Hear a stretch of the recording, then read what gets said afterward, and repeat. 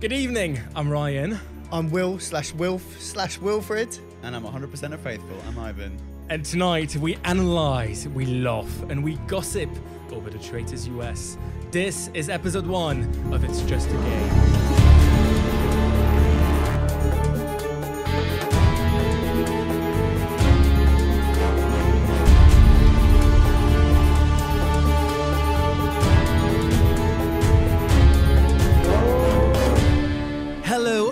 To It's Just a Game. This is the first episode of a brand new podcast where we watch reality so you don't have to. On my side is Wilf. Will? Hello. How do we call you? I don't even know, mate. I feel like whatever's best. You call me Dave. if W. want. Can I call you Daddy? well, and here's Daddy. I'm Daddy. Uh, I'm Ivan. I watch reality TV and I have things to say about it. Same. Right. Uh, you may be wondering why do we need another three straight white men hosting a podcast? I have no idea. I think that it's. Yourself, mate. I know. um, do you know what? I think that we've all been there, done it, and got the t-shirt. So I think it's important for other people to be able to hear hear opinions of the people that have been there. And actually, we we were on an amazing show, and I think we'll be able to pick apart and hopefully, like, I want to do predictions and stuff. Right, guys. This show is all about reality TV, so be warned. There will be spoilers ahead. If you haven't seen episodes one to four of The Traitors US, go home, watch it, come back. If you have seen these episodes, don't worry. There will be no spoilers for episode five and above. but still go home. and listen to the podcast. um, now, guys, there's a lot we have to discuss, but I want to start with one big question, which really you got to ask about any TV show. Um, who are your favorites? Favorite traitor, Oh. favorite faithful, Wilf? Okay, so we're gonna start right. So my favorite faithful is right. Let me get my sheet because I'm not very good at names. So obviously I've only watched the first four episodes. Obviously you can binge watch it. You can watch all the episodes at once. But my life's been a bit crazy, so I have watched the first four. Um, Cirie, Cirie is my favorite traitor. From the at beginning, I wasn't 100% sure if she was going to be my favorite, but she, at the moment, from the four episodes, she is my favorite faithful. And you've told us to pick one, and I hate that you've told me to pick one. but I'm going to say Quentin. I just think he's intelligent. He tries to. He's trying to pick apart different things and trying to come up with different logics. People go in there, we've been there. People go in there, they see a crumb, they jump on it, right? He's trying to look at something different, a wider picture. And yeah, I just think he's he's my favorite in But not terms a of to single watch. correct vote so far. I know, but and Michael, I've had to throw Michael in there. I'm sorry. Oh. That Michael was is two, mate. You broke the rules. I'm so should so sorry. I had to uh, do the it. doors this way. I'm comment. so sorry, but Michael, Michael, listen, Michael, I love that man. Oh, he didn't do the accent. I love that man. I think he's him. great. I think he's great. but yeah, I think Ivan, they're favorite mine. traitor, favorite faithful. Uh, okay, so Cirie's already been said, but clearly fantastic, well on top of the game. So I'm gonna go Christian. Um, he's playing it well. He's extra. He's big. He's going in for it. He's not holding back. And I- clearly, you've got the same hairdresser. yeah, thanks. We do. Yeah, the hairdresser was called no hairdresser. It's called just leave it for a while. Um, yeah, no, I, I, you know, I don't necessarily approve of his strategy, but he's good fun to watch. Yeah. Um, and Andy, probably my favourite um, faithful. Just think they're legitimate. Think they're lovely. Um, yeah.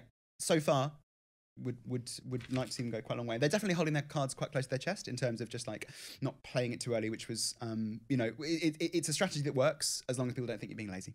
Yeah. Rayan, who is your favourite traitor and faithful? Like, uh, it's a tough one, but honestly, I can't not say Cirie. She's incredible. Like, she's been dominating the game, taking people where she needs them. Like, so far, she's done really well, and I reckon she could do really, really well. Um, favorite faithful. Oh, I want to say Michael. Like, he's just so funny, and we'll talk about this. But his exit in episode four is the most incredible Amazing. exit in the history of the traitors. No, no, no, no. Ivan's was, but To be fair, Michael in the US traitors, yeah, we'll, we'll give him that. Mi- Michael, Michael did well. So far, I've not seen the rest, but yeah. But since you picked Michael, I might also say Amanda, just because she's made a few small comments that make me think, oh, she's smart. She's hiding something. Um, she could go far in the game.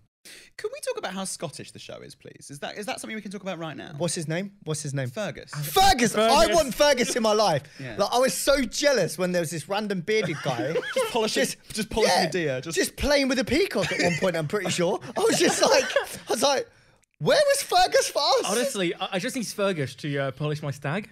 What? I just there's a, there's a thing where they've gone right. How, how Scottish is appropriate? Right, double it and then double it. Take away the first number. You, s- well, double it again first, then, and then they've gone. Okay, so Alan Cumming has a Scottish accent, but somehow he sounds like he's putting on a Scottish, Scottish- accent. Yeah. Like, and he wears so much, so and much gone- Scottish And they've gone, who's the only Scottish person in any portrayal of anything we've ever seen? Oh, Braveheart and Groundskeeper Willie. We can't have Braveheart. Imagine except- having Mel Gibson. so, so instead Freedom! they got Groundskeeper Willie. So there he is, polishing a stag, and he, he, he walks around. Now, I have it on good authority, as in I've chatted to him, that he's actually like, he's got a PhD on the portrayal of Scottish characters in Oh my movies. God. So I can't, I really would love to know what he thinks about the portrayal of Scottish characters in The Traitors, because it's fascinating. And I, I feel like a generation of Americans will go away thinking that's what Scottish people are like. it was like because the UK is the UK, England are part of Scotland. They don't need to show. This Right, is can we go back Scotland. England Sorry, is part of England's Scotland. part, just explain, just show Sorry, me really sorry. how England's part. England, England, and Scotland. Right, well, the Can you United show me on the map? Yeah. Okay, okay, Show me show me on the okay, map where I okay. But they probably all knew what Scottish people like, but they're like, "This is what it's like to live in Scotland. We all have this random man polishing our peacocks." Do you know what I mean? That is Everyone so- has one. That's Scotland And in a it- and nutshell. He doesn't even talk. He just stands there. I was like, "Where is this guy in my life?" Sometimes he sits in a boat, right? Oh, he does. oh yeah, he sat in a Show boat. me the door. the guys don't just go around. Fergus, mate, Fergus. Sorry, Fergus. Can you just get in a boat for a long time? Just mind just being in a boat. Sorry, Fergus, can you polish your stag and then can you hold the torch? Oh, Fergus was my one of my. he- do you know what? He's my favourite faithful. Yeah, and he's 100% a faithful. I hope they paid him more than they paid Alan because I think he puts in the hard work. in the Yeah. show. He Right, well, does. talking about characters, I think something that's so unique about this US edition is that you've got a cast of half celebs, half civilians, and that changes the game. Like Yeah. you had Rachel, who immediately knew Cody was a traitor. Uh, obviously, you have Cody recognizing that he's one big brother, so people aren't going to trust him. How, how do you think that impacts the show? How do you think you move on from everyone being a celebrity and I think I think it's it's really fun to start off with some division, right? You often see this in lots of shows where they start off they you know in, in Big Brother series they just go oh right this one's rich and this one's poor for a week and immediately then it makes sort of creates these different divisions and boundaries. So in that sense I think it's good, but unfortunately I think where it takes away from that is simply that the celebrities get more airtime. And I was I, I was really interested in some characters who didn't, at least in the first few episodes, get much airtime and then they were gone. Now that's not to say that celebrities aren't fantastic characters. They are all larger than life. They also know how to play the game and make sure that they are being portrayed in this particular way, which the the um, civilians don't. So there's just kind of it feels like two different shows, at Okay. least to begin with. well, are you team celebrity or team civilian? um, civilian by far. So um, what I feel feel like is they they have an upper hand. Uh, the reason being is like when we went on there, right? We went on um, the traitors. We had no idea really what was going on. We went there. There was camera people. There was cameras here, there, and everywhere. And when we're just and there's no overproduction, so we're just getting on with life. It's so much harder not understanding how that is. But for people that have been in that atmosphere, they can act so much more how they want to act. So imagine somebody being chosen as a traitor, right? Who's used to being on camera. They'll probably know how to react better than somebody that doesn't. So I think that they had an upper hand. In my, if that's in my, in my vision, like for what I watched, I feel like the celebrity has celebrities had a bit of an upper hand in terms of that. When you like, I know as a traitor, I know that Wait, you're a traitor. yeah, I was a traitor. Yeah, I don't know if you know. That explains That so explains so much. so much. No, sorry. So much. But Get away from me. it explains, you know, so when people when people are confident, Mm. you want to cut them out. When people are appear, well, from my experience was this person's too confident. Mm. So maybe being a celebrity was a weakness in that in that aspect. You know, if somebody's like loud, like um Reza, yeah, Reza's Yeah. celebrity, right? He was a celebrity, right? Yeah, He yeah, was, yeah. yeah I, obviously, I don't. Yeah, so famous. so Reza, I really liked Reza. Mm. I was like, I like him. He's really trying to play the game. But if you try to play the game too much and you're letting too many people know that you're playing the game, that you're going to get murdered. Also, if I was in the show, I would want to vote for Cirie Fields just so I could say I'd eliminated Cirie Fields because I'm a massive fan of hers. So I'd be like, oh, she was in Survivor four times. I'm going to vote her out. But yeah, I think I think personally that there there is a different there is a divide between celebrities and um, non-celebs. I think so. You never really know how you're going to react to you're in that situation. But celebrities probably know how to react in them certain, especially the um, who is it on Big Brother? Who won Rachel Big Brother? Reilly. Rachel. Ooh, oh, Cody. Cody Co- Cody, yeah. Yeah. So he won. He won Big Brother, right? So he's going to know what it's like to be under the spotlight more than most the traitors. He was a perfect traitor, really. And so aspect. after that first round table, Geraldine changed how she was acting. Yeah. and they changed how she I mean- spelt her name. I was say, the, the one link between all the characters, the one thing that binds them all is, and, and us too, is we can't spell. yeah, we, we cannot Which spell. brings me to my first re- uh, re- recurring segment, which is called "Can You Spell Geraldine?" Okay. So, guys, here's how it's going to work. Right, it's a little game. I don't want you to spell it correctly. I want you to spell it the way Rachel spelled it in episode one. We're gonna do it like a, we're gonna do like a spelling bee. So, Wilf, you're gonna take the first letter. J. Uh, okay. Oh, yeah, no, it is J. Good. It's good. J, yeah? It's J, yeah. Yeah. So, so, it's, so just to be clear, this is not how you spell Geraldine, but it's how Rachel Reilly spells Geraldine. The person who gets the wrong letter is out, which means the other one wins. So J is the first letter. Second letter, E back to Wilf. R. We're doing great. R. I'm so sorry. Oh. Will It's is the you. Is it you? It, it's me, yeah. Uh, no, I mean, was it you? no, it's. Shall I? Shall I read? I'll give you. Yeah, a go on, go on. J E R Y L D E A N. Oh my God! It's an Irish It's Geraldine. Geraldine. It's Geraldine from Ireland.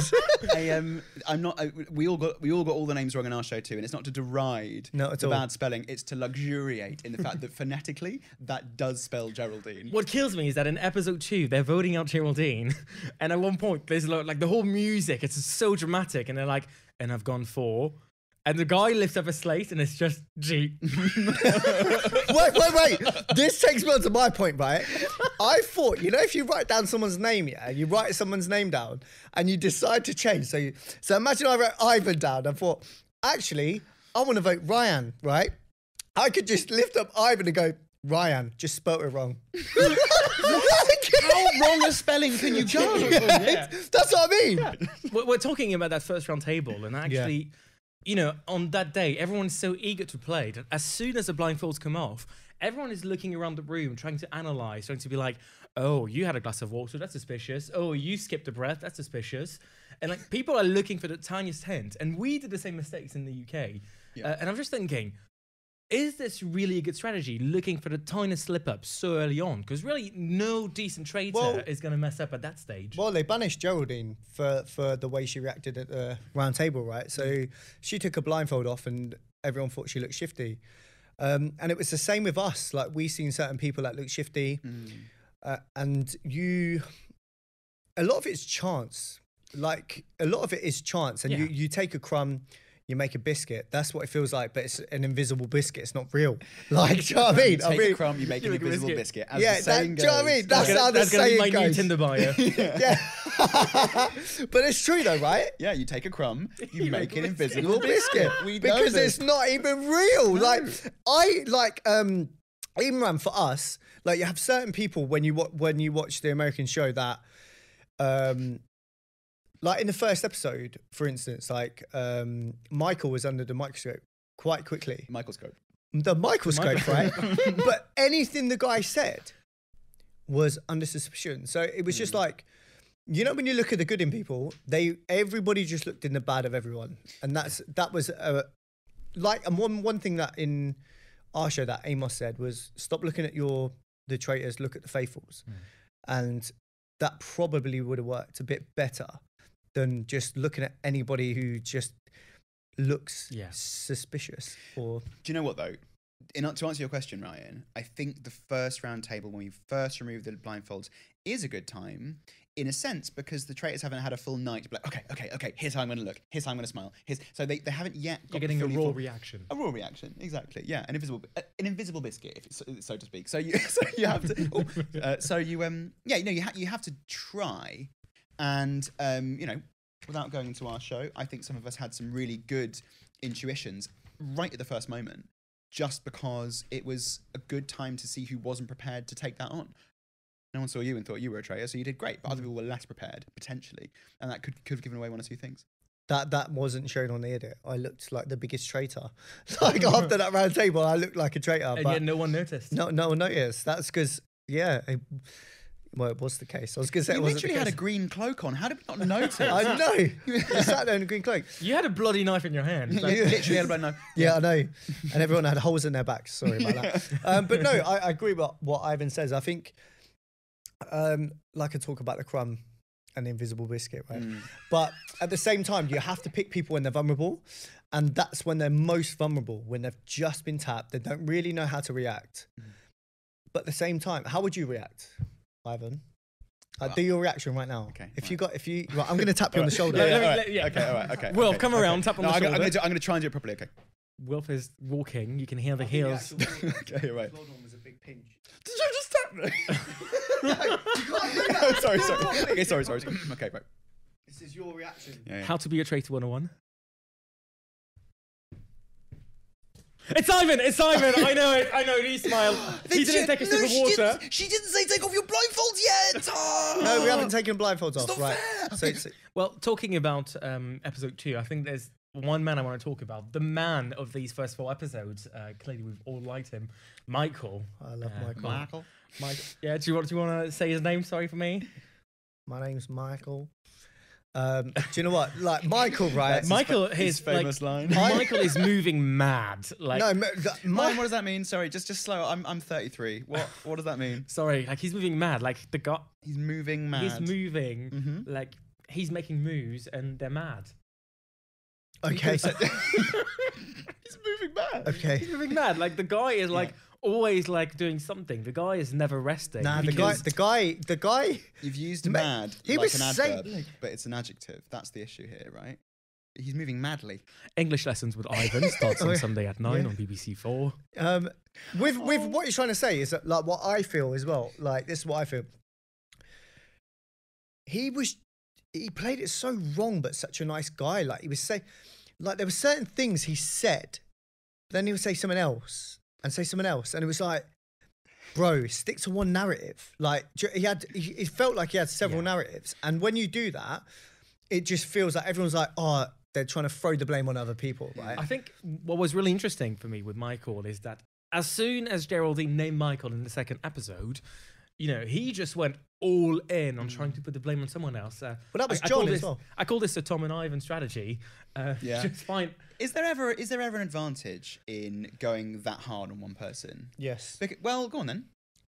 I, I feel like no, no, no. No, what I was good, I trying to say, you go, you go, you go in, you go hard on somebody at the round table to push the blame on. The worst thing you can do is sit at the round table and just take it, because then Yeah, but you. this was this was a campaign. Yeah. Like he took he spent all day. even oh yeah, during the walking task- round trying During to the get. mission, Yeah, yeah. he was literally on his way, running on his way to get somebody out of the ground, kill and he that. was like, "Look, um, just so you know, if you don't vote for her, I'm banishing you tonight. You're dead tomorrow." And it's just like, "Look, man, we're digging right now." After episode two, whatever he said, he was seen as a traitor. It doesn't matter what he said. Like he, he could have said anything, and it was, oh, that's suspicious. But. I'm gonna get really like free to chest about this. But when you think about this, the fact that somebody would be so foolish, so stupid, as to say, "Oh, I'm certain they're a traitor," and then risk losing their place in the game because people will be like, "Oh, well, you said they were a traitor. You were wrong, so we're voting you up next."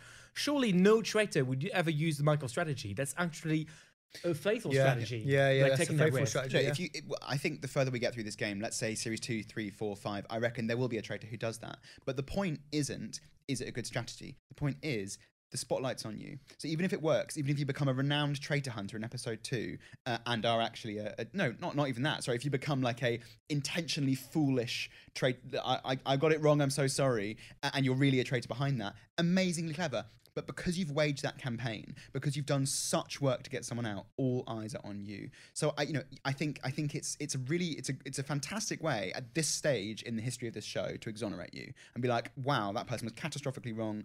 Okay, we believe they were faithful. I don't. I, I I don't necessarily think it's true at all. Mm. Reason why is for the fact that right, the witch hunt on Amanda, right, was Kieran. Kieran Kieran did a witch hunt on Amanda. He was the one who planted the seed, and I was like, it's the right time for me to do it, just for the fact is I thought she was going to do it to me. He did that, and he was instrumental in finding her. They will turn on him anyway. Yeah, Do you know what I mean? So it doesn't really matter. Like if you're gunning for someone, gun, gunning for someone, and they end up being a traitor. It's ch- most of it's chance anyway. Like there's no, hmm. so people will still go to you the next day. Actually, maybe he's, the, especially nowadays. Now, if there's a season two, three, four, five, like you said, mm. tr- like if you are instrumental in getting a traitor out, then you could be a traitor. I think it's actually one of the most faithful things you can do to to campaign against someone and get it wrong. And traitors are going to start using that. So you have to be a little bit popular, but not very popular, liked by the right people, but not by other people, but definitely not hated by anyone, but also hated hard by, game, innit? Hated by, hated by one person. Well, yeah, yeah. So it is, yeah. I You know don't what? wanna I'm play gonna make it simple. Everybody hates me. I Yeah. guess it's a bit like if you have a little crumb and then you actually earn an invisible biscuit. like, do you know what I mean? Yeah. Can I just say mm. hashtag invisible biscuit? That's today's hashtag. Oh.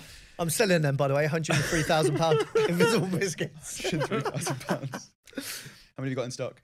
Uh, one. 103,000 pound for one, and a photo of me. I've got infinite ones. Uh, It's weird you have to limit yourself to one when they're literally invisible, but whatever. I'm just looking at finding traitors because obviously that's the name of the game, and there's something really interesting that happens in episode four, uh, which is when Kyle, for the first time, somebody tries to get into the mind of the producers and says, "Look, obviously there has to be at least one strong female traitor in the midst.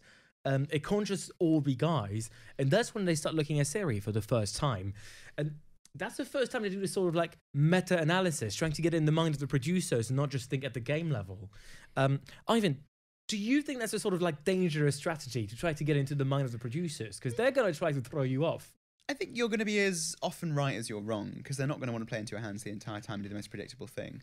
But yeah, I mean, I definitely think metagaming is important in this kind of game, and I think it is, you know, certainly trying to guess, for example, how many traitors there were was metagaming, and yet we all had to do it because we, well, you didn't, the rest of us had to do it because, but um, yeah, no, I, I think I think Carl was right to start to make some some assumptions. One older woman would have made sense, and if he'd then extrapolated that and been like, right, that means there's going to be either one, two younger men, or one younger man and one younger woman, that would have worked for both the American Well, series. what we did, well, Ki- Kieran said there has to be a matriarch. Yeah, There yeah. has to be, it's either Amanda or um, Andrea. That's what he said. If you stick with those things as well and carry them through, it will get you to some easier eliminations. We've seen situations in the UK show, and I'm sure we'll see situations in the American show as well, where stick with those ideas, hold on to them for as long as you survive, and it, things will start to become really obvious. Uh, we got rid of two women who were looking for a man. Would have been so useful uh, in terms of searching for you. I know they found Kieran and that was enough, but like even in the roundtable before that, when they were looking for a man and ended up getting rid of Maddie, bad news for guys. um, be persuasive sometimes. You know, well, do you think it's important sometimes to just get into the mind of the producers and stop Yeah, of thinking about how course. they frame the game? Of course, you you've got to think the game's bigger than what it looks, right? It's not just these players. There's there's for us, we're very lucky because it was very underproduced, right? So it weren't like they told us to say anything or anything like that. But at the same time, there's there's a power in production, right? So they're gonna they're not gonna be like let's all put let's put Alex, Alyssa, and Aisha, just names an A. Aisha, Aisha, in yeah. Well, Aisha- that's how they did it in the US. they all begin with They all C. see- they're, they're definitely not gonna spin a- spin a wheel and choose three traitors. They're they're gonna pick people that they think, okay, this person might be able to bring this, this, and this to the table. But when you think about it, there is one danger with getting into the head of the producers, which is that sometimes you just, you just get it wrong. I remember one of the big reasons why I voted for Nikki at the beginning was, oh, she's got such an inspirational life story. She's got such a good reason to need and want the money that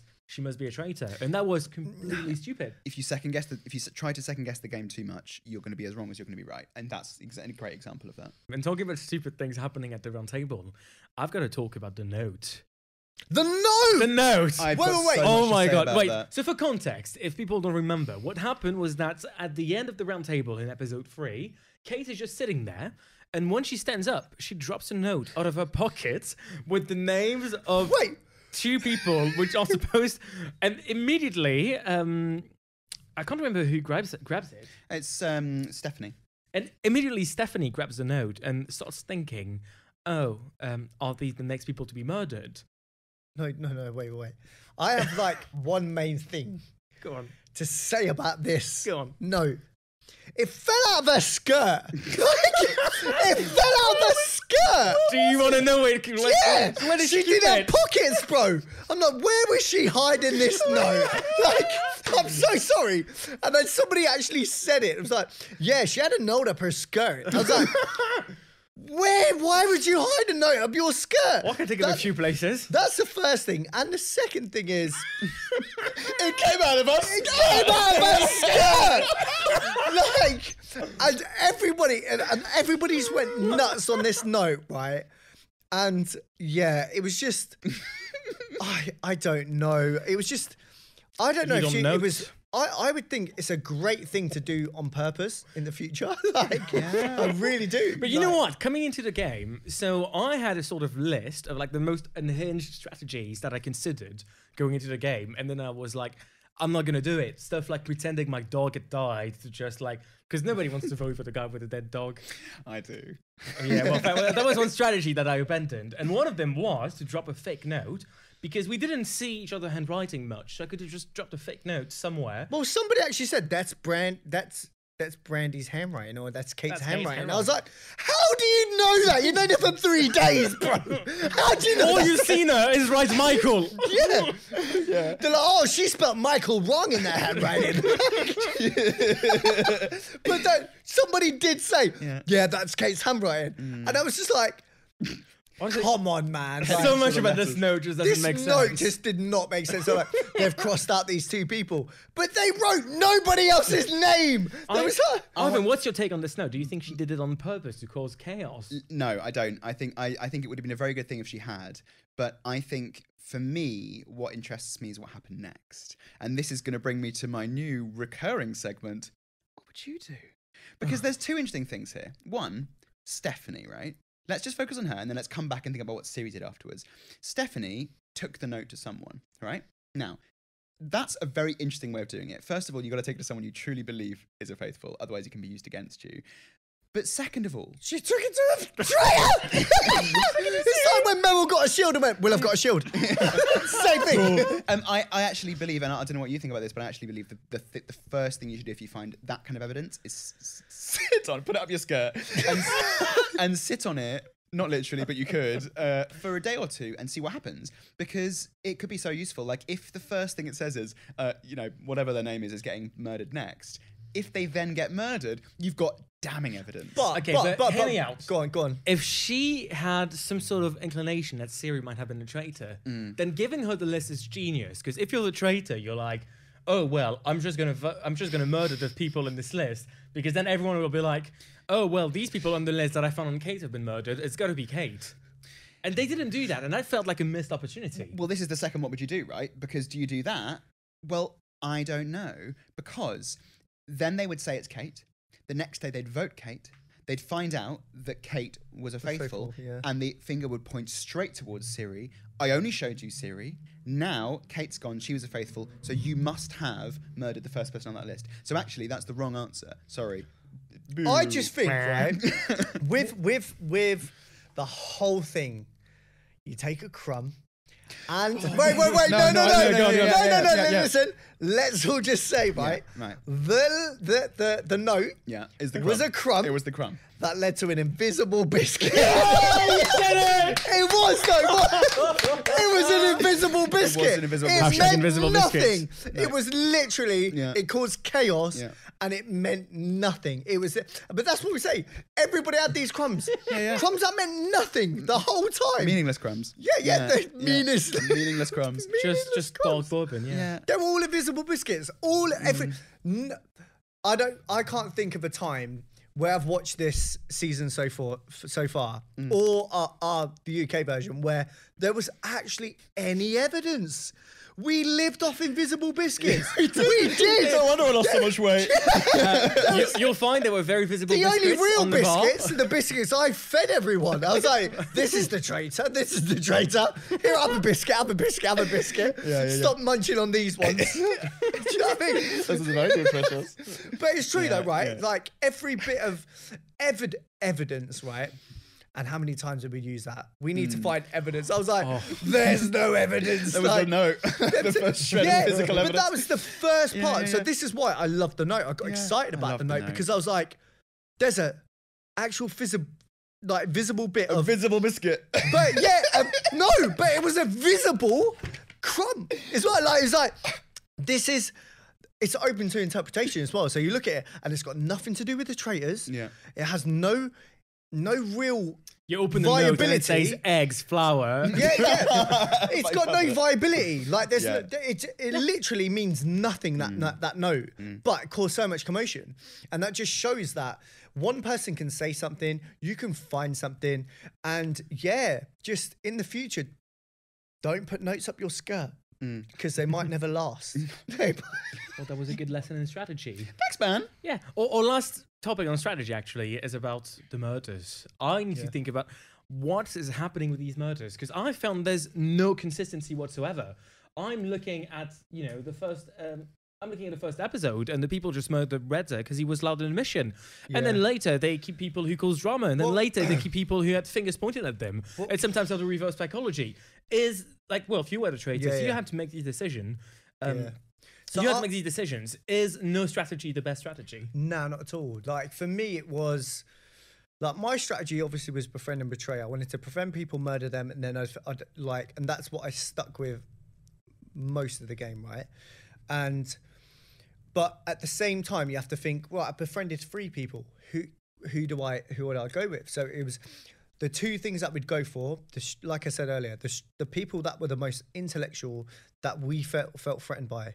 Yeah, so people like in the game that we were playing that the people that we knew like we thought you worked we didn't know you was doing what you was doing but ivan Didn't tell anyone. And was a lawyer. amos ivan and amos and, and faye as well were like hmm. clearly in my mind probably I wouldn't say most intellectual. I think it's the wrong thing to say, but at that time they were mo- the most threatening in terms of strategy.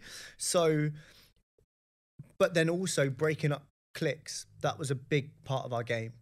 So breaking up clicks, like And that's Claire- what they do in the first episode with Yeah. Bravo gang. yeah, but that's what that's what that's the strategy is breaking up the clique because people disperse, then they have to build new relationship with new people, and it just it brings that chaos. But the things that what they're doing, they were sh- just firing random, and I understand the strategy behind it. And behind that's it. what they 'cause did. Would you have done that? Because Nah. the second, um, in the third episode, they just murdered Bam for no for reason. no reason. and I like just to that throw guy, people and I just felt so sorry for I him. love this house. I've got to say, there's an advantage for rolling dice when you're murdering. I've got to say it. Like, it, if people are going to try and guess the meaning of a murder, but you just rolled a six and the sixth person on your list died, I like that. So you know you're you're you're a faithful at heart, right? You you'd always want to play as a faithful, right? Yes, unless recruited. Okay, so if you was a traitor, yes.